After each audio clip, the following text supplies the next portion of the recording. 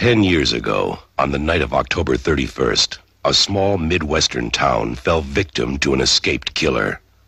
Under the cover of darkness, he carried out the most horrifying mass murder on record. Sixteen people in cold blood.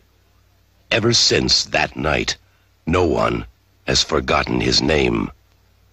And Halloween has never been the same.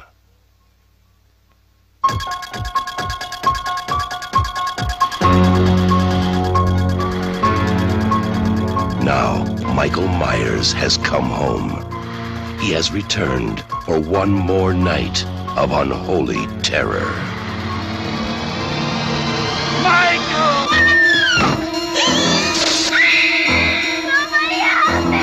He's here to kill that little girl and anybody who gets in his way. Oh, God! Who's gonna be next? Ah!